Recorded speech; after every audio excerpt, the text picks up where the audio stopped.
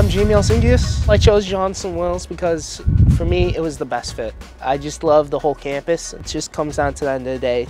Culinary arts is what I love. It's my passion and Johnson Wales is gonna be the school that takes me all the way.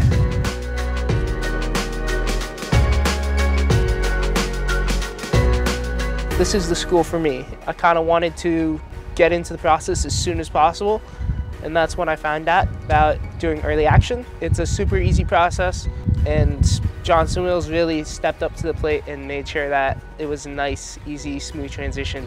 It was good to know that I had another step in my life kind of figured out. Definitely able to enjoy my senior year with a little less stress of uh, worrying about what college I was getting into.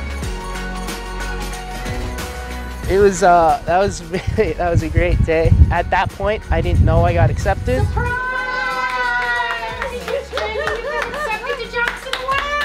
So my student counselor told me to come down after school. I had no idea what to expect, but my principal was there, the superintendent was there, a few of my teachers came by, and I walked into that room and I saw the admissions people there and Willie the Wildcat and they said surprise. I found out I got accepted and I really, I was speechless. I couldn't believe it.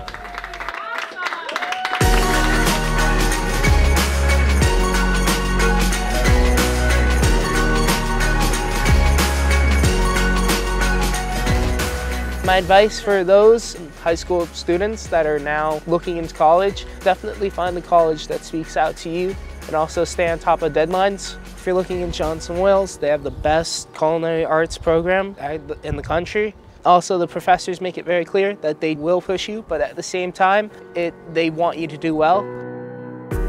They've had events. There's an event called Involvement Fest. That's where freshmen through seniors get to go and check out all the clubs and all the events that you might actually want to join. And Ignite the Night, that's where everyone gets lanterns and they hang them around Gaebe Commons. For me, it was also just another step for me to feel officially part of the school.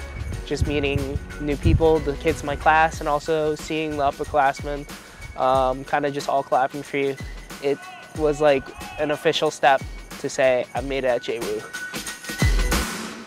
If you know what you want to do, for me, it was pretty straightforward that I wanted to do culinary arts, but for other people, it could be anything from criminal justice to uh, baking and pastry.